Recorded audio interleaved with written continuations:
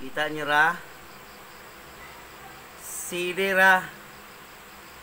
Iya sa amon, dahil ginatawag nga kutikot. Gets nyo? Kutikot. Pinakamahalang nga katumbal iya sa amon nga lugar, iya sa Aklan. Aklanon ako. Kaya gina-acceptar ko ro challenge ko haning nag kaon nga to tuwang bilog. Wa ko man nga nikita. Pero iya po nga ana walo akon kotikot produce bilog. Oh, ano na. Saga. Dalawa tatlo. At lima. Anom. Pito. Walo. Siyam. Puro onse. Dose. Dose bilog. Ana walo.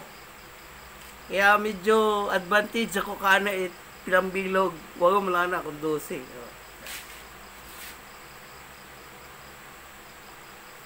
akon ra nga kaunon.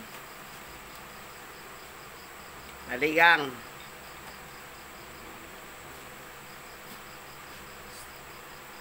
Eh, para ma-break ko raan ang ah, challenge kailangan ko kaunon dahil nga ratanan. Kali nga dosi bilog lang ra. Bahala utar iba kung kumao man sa diet. Kabo-abo. Basta ako sobra ako nga wago. Kaya dosi bilog.